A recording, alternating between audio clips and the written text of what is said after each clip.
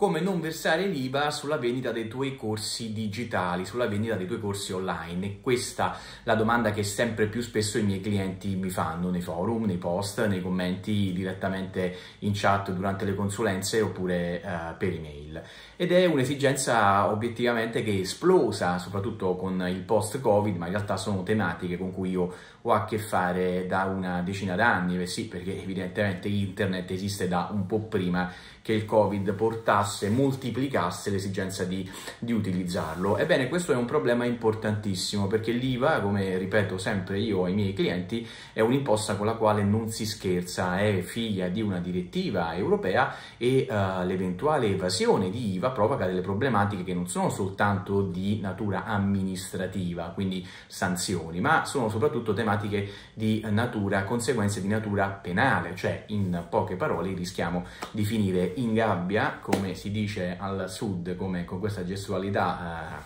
eh, eh, che parla da sola, e quindi è importante sapere perlomeno quali sono i rischi che si affrontano nel momento in cui non verso l'IVA. Ok, è una tematica complessa, è una tematica difficile, cercherò di rendertela come sempre faccio nei miei video il più semplice possibile, ma per fare questo ho necessità che tu mi aspetti due secondi dall'altra parte della sigla.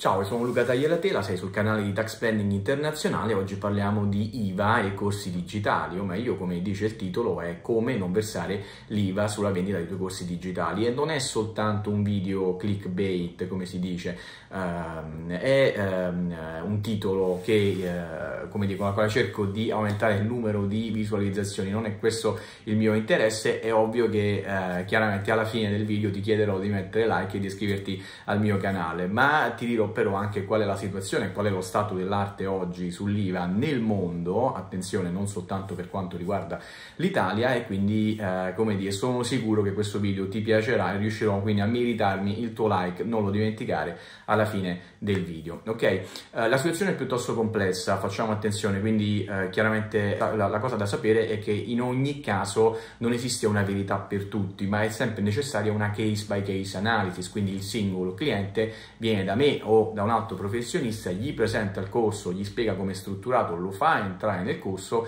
e soltanto allora un consulente dovrebbe essere in grado di dare una risposta, per cui non fidiamoci delle risposte ultra generalizzate, iper generalizzate, perché l'IVA è un po' più complessa uh, di così. Ok, e partiamo allora dalla situazione nel, nel mondo. Ci sono tre grosse aree, perché il problema qual è? Che i corsi online, soprattutto quelli B2C, quindi quelli venuti da business tramite società al consumatore privato, ovunque esso si trova, eh, sono eh, suscettibili di subire un'imposta al consumo. L'imposta al consumo in Italia si chiama IVA, imposta sul valore aggiunto, ma in realtà nel resto del mondo può assumere forme e denominazioni differenti. Io oggi voglio parlarti di tre grossi gruppi. Partiamo dagli Stati Uniti, che è un mercato evidentemente interessante per molti dei miei clienti e credo possa interessare anche a te se ancora non lo hai aggredito. Dopodiché passeremo ad analizzare il mercato australiano e neozelandese che hanno delle regole proprie, ciascuna la sua, e poi in ultimo andremo a parlare di quello che accade nell'Unione Europea. Vi parlerò non soltanto di quello che accade oggi, ma anche di quelli che saranno gli eventuali scenari possibili futuri. Per cui mi raccomando, stay tuned, come dicono gli youtuber, e noi eh, ci rivediamo alla fine del video per quanto riguarda l'Europa. Partiamo allora dagli Stati Uniti. Che, che cos'è l'IVA, cos'è l'imposta al consumo classica degli Stati Uniti? Non si chiama imposta sul valore aggiunto, ma si chiama sales tax. È un'imposta completamente diversa nella sua natura, nel suo funzionamento rispetto a quella europea, rispetto a quella di altri paesi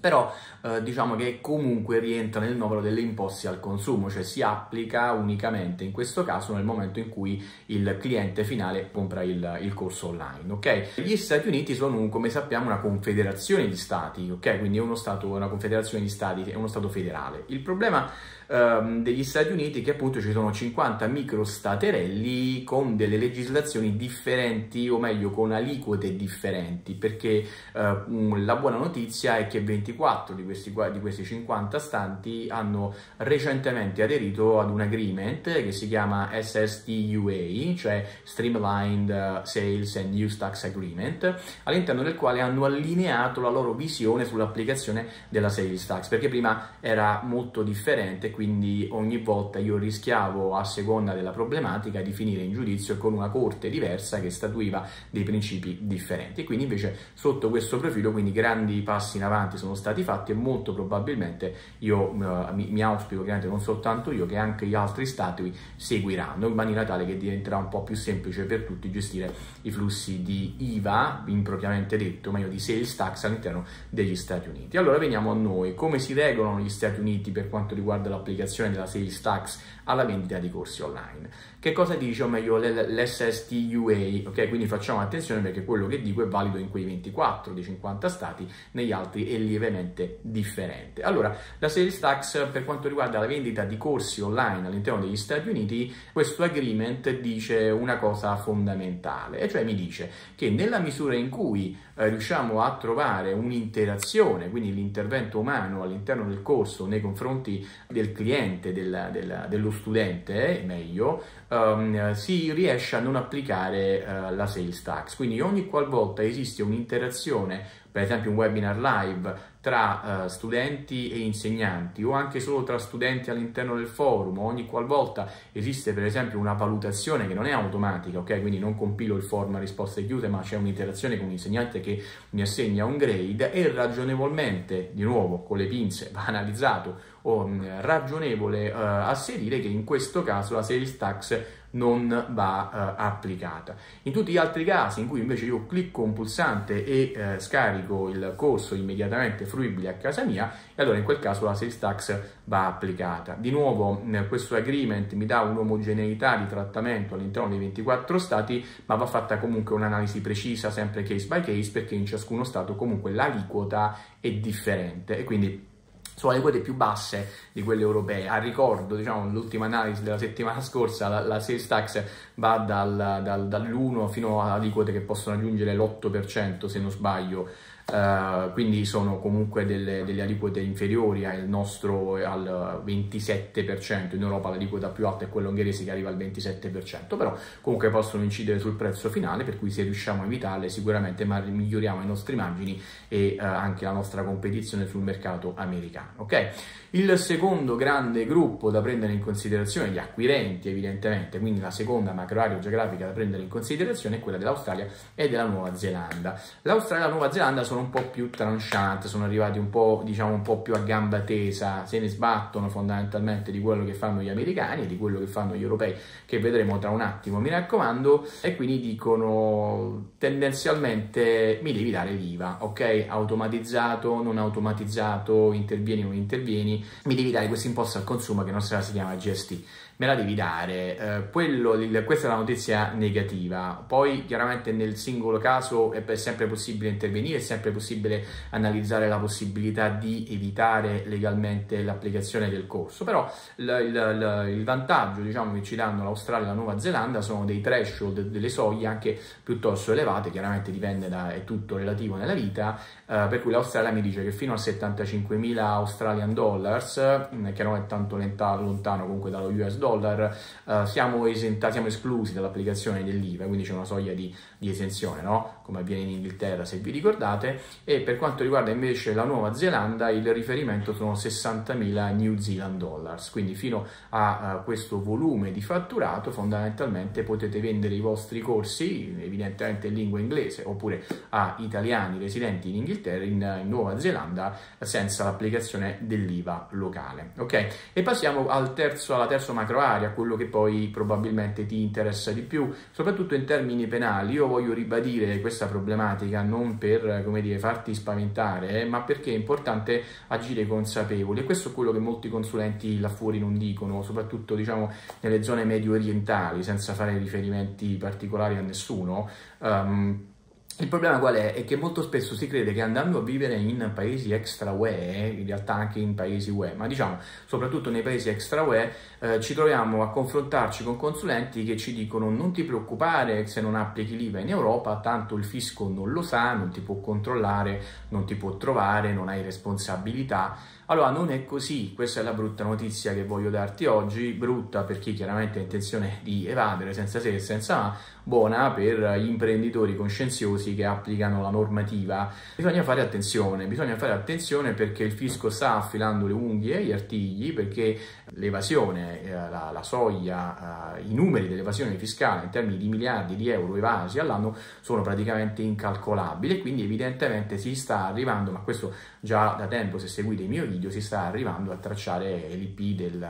l'IP address di chi compra come si farà, quando si farà, evidentemente eh, non è scritto da nessuna parte, però quella è la direzione e soprattutto anche la responsabilità sta aumentando, aumentano le, la cooperazione tra stati sia all'interno che all'esterno dell'Unione Europea, quindi facciamo attenzione, non diamo per scontato che se non versiamo l'IVA non ci succederà niente, perché soprattutto se siamo italiani e domani magari vogliamo ritornare dopo alcuni anni trascorsi all'estero perché abbiamo fatto i soldi e ci vogliamo tornare a spendere in Italia, allora facciamo attenzione alle conseguenze di un'eventuale evasione IVA, perché è una cosa che potrebbe perseguitarci anche per molti anni. Comunque il termine dell'accertamento può raddoppiare, si può arrivare a 10-12 anni di accertamento su un singolo periodo di imposta, per cui watch out, mi raccomando, quindi non crediamo a quelli che ci dicono non succede niente niente, non ti preoccupare, non te la faccio versare perché dovrebbero finire in galera prima loro e poi Dio non voglia voi se vi dovessero accertare. Ok? Uh, quindi che cosa succede in Europa? Qual è l'atteggiamento che c'è in Europa sull'applicazione uh, del VAT?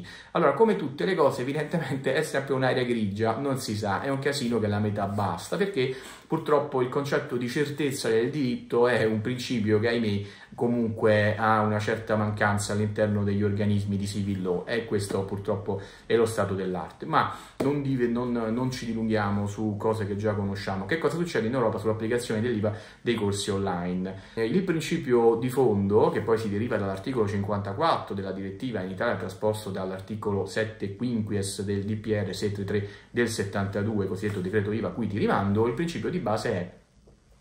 uh, nella misura in cui, diciamo che fa un po' il verso a quello americano, ok? Quindi nella misura in cui il corso è immediatamente downloadabile, immediatamente fruibile, quindi io consumatore clicco il tasto, pago e me lo vedo a casa mia senza se, senza ma, senza interagire con nessuno e allora è pacifico che quel tipo di corso rientri nei servizi elettronici, per cui lì dobbiamo tendenzialmente applicare l'IVA in Italia o nel paese del compratore, a seconda di ciascuno dei 27 dei, dei, dei paesi dell'Unione Europea, ciascuno applica la sua aliquota e amen, questo diciamo è abbastanza pacifico. Il problema si pone invece tutte quelle volte in cui c'è un intervento umano, un minimo intervento umano all'interno del corso, quindi um, l'interazione con con un, docente in un webinar live, l'interazione dei, dei, degli studenti tra di loro, dei test a risposta aperta, eccetera, eccetera. Più l'elemento di intervento umano uh, aumenta e più è possibile che quel corso venga considerato non un servizio elettronico ma una prestazione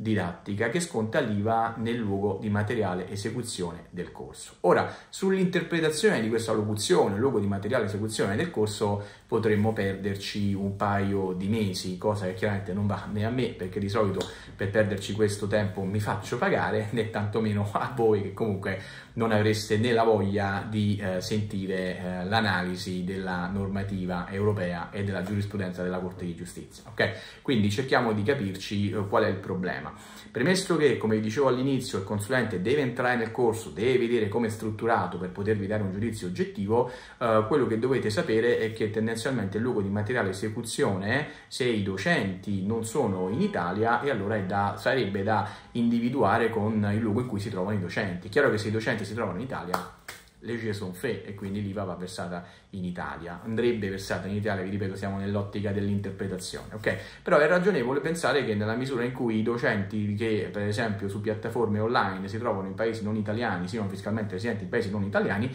e allora si può um, asserire che uh, l'IVA fondamentalmente va versata nel paese del prestatore, ok? Quindi non, nel, non in Europa, nel paese in cui si trova il prestatore del servizio. La, questa è la buona notizia. La cattiva notizia è che eh, questo orientamento al 99%, questa interpretazione al 99% non sarà sposata dalla nostra chiarissima uh, agenzia delle entrate, quindi probabilmente si porterà ad individuare, perché io già lo so dove, siamo, dove, voglio, dove voglio andare a parare, il luogo di materiale di esecuzione con quello in cui si trovano gli studenti. Chi ha ragione probabilmente poi lo vedremo in contenzioso, però facciamo attenzione perché non è così scontato oggi, ok? Soprattutto sull'IVA che come dicevo è un'imposta con la quale non si scherza e quindi bisogna, eh, è necessario entrare ogni volta nel, uh, nello specifico del, del, singolo corso. Io sono Luca Tagliatela, spero di averti dato una visione a tutto tondo della problematica IVA sulla vendita dei corsi digitali, spero che tu abbia avuto la pazienza di arrivare fino a qui perché se l'hai fatto può veramente averti cambiato la tua prospettiva di business attuale e futura. Se così è stato, clicca like al video, iscriviti al canale se ancora non l'hai fatto. Noi ci rivediamo nel prossimo video con nuove preziosissime informazioni per l'evoluzione del tuo business digitale. A presto!